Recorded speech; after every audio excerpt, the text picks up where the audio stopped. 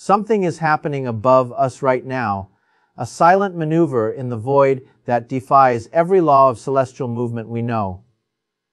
We are tracking an interstellar visitor, an object that entered our solar system on a path that should have flung it back into the depths of space.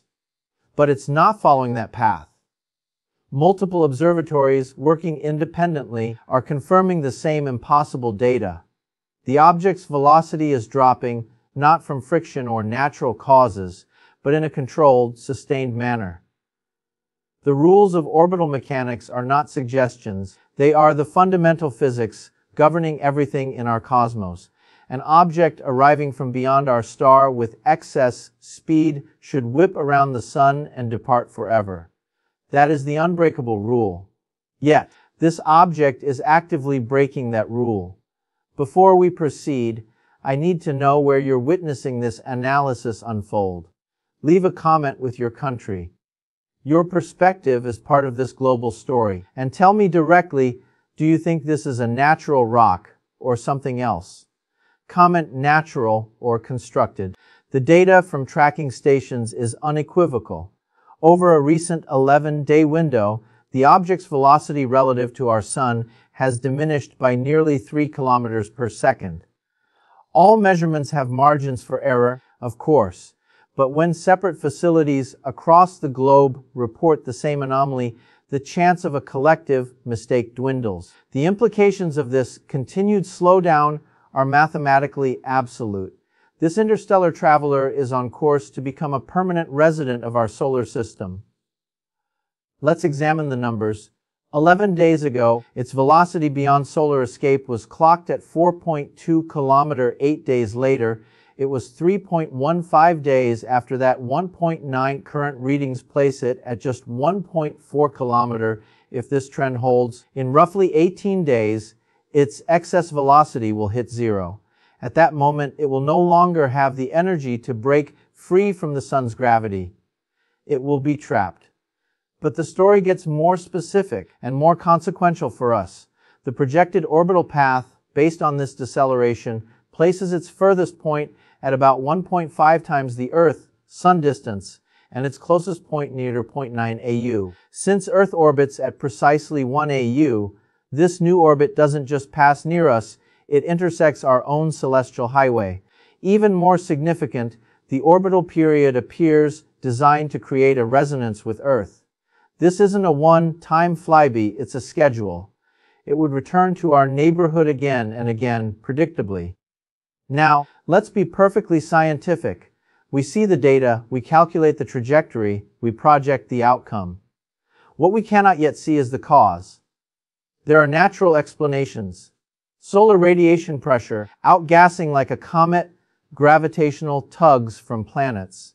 These must be investigated, but the steady, persistent nature of this braking maneuver raises profound questions. The energy required for such a velocity change is immense. If this is not a passive process, but an active one, we are observing technology that operates on a rates on a level we can scarcely imagine. Let's consider the engineering. The total velocity change needed to go from an escape trajectory to a captured orbit is a reduction about 4 kilometers per second. To give you scale, the Apollo missions needed about 3 kilometers per second to break free of Earth and reach the moon.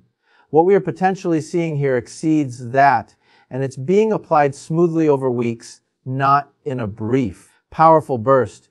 If this is a propulsion system, its sophistication is generations beyond our own. The timing is also highly suggestive.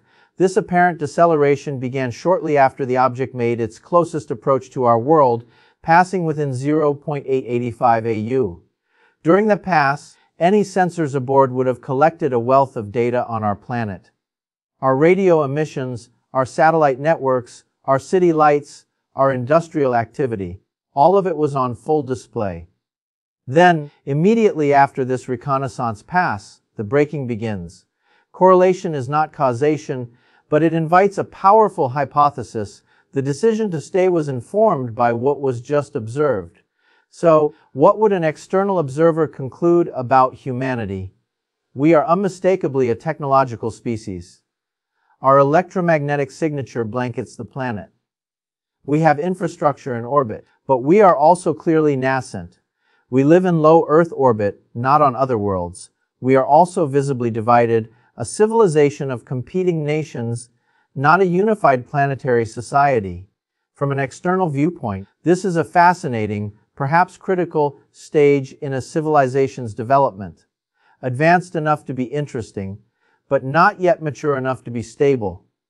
We are a civilization in adolescence, watched by an unknown parent, or perhaps what was seen caused concern.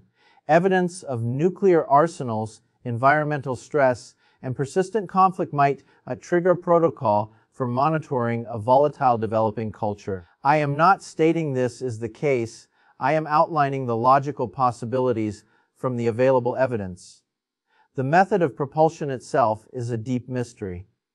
Our instruments detect no visible exhaust plume, no significant thermal signature consistent with rocket engines, no evidence of expelled mass. Yet the velocity change is real. Whatever is propelling this object uses principles we do not understand or observe in our own technology. That fact alone points to a physics beyond our current grasp. The central question is no longer just what it is doing, but why. Why would an interstellar probe choose to remain in our solar system, specifically near Earth? We can hypothesize based on what we would do. First possibility, an extended science mission.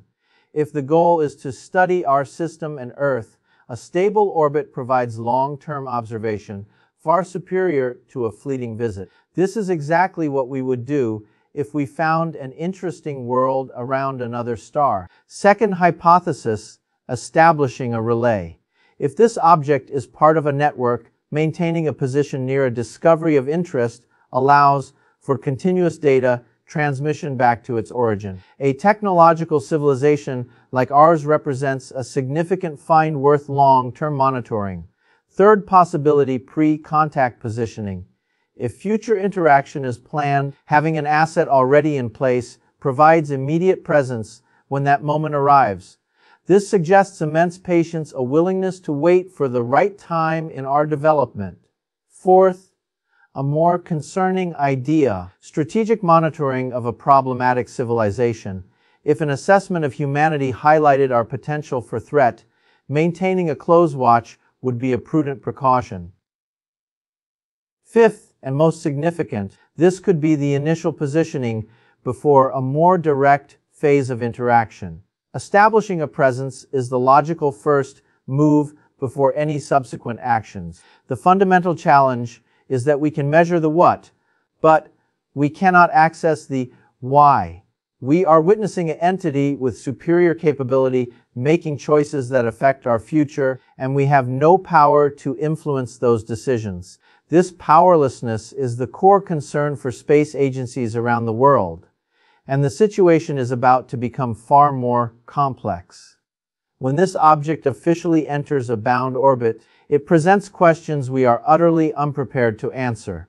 NASA and other global space organizations face a dilemma with no precedent. If this object becomes a permanent orbital presence, it is an uncontrolled entity in our space. It can observe all our activities continuously. Satellite launches, military exercises, communications. Everything becomes visible to its sensors.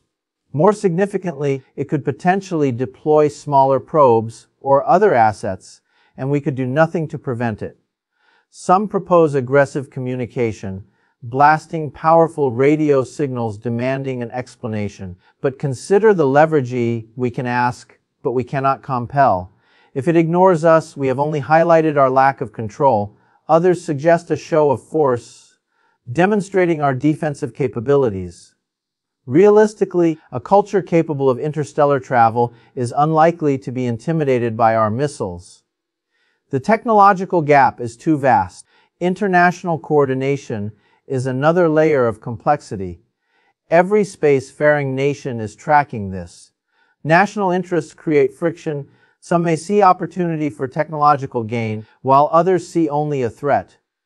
This mix of fear and ambition makes a unified global response incredibly difficult.